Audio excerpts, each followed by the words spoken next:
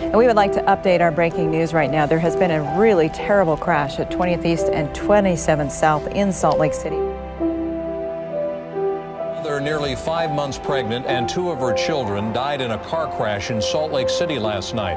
Her husband and another child are in the hospital.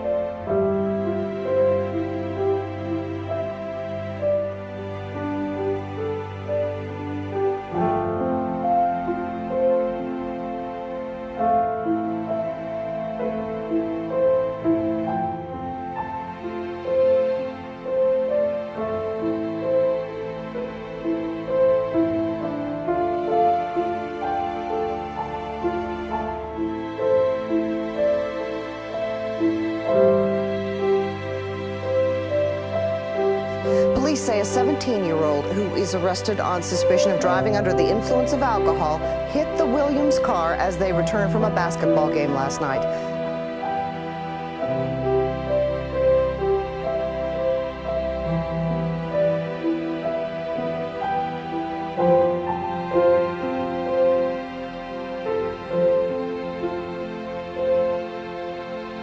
I knew that my wife and at least two of my children that I could see over my shoulder uh, were gone. I decided to just forgive then and there whoever was driving that car. I would unconditionally forgive